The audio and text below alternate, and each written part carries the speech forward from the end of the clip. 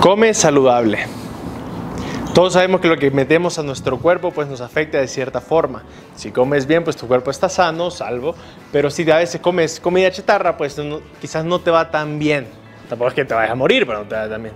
El Señor hoy te dice que Él es el pan de vida, porque tu alma también necesita alimento y absolutamente todo lo que entra en nosotros, todo lo que vemos, escuchamos, todo lo que pensamos y razonamos, pues afecta a nuestra alma también.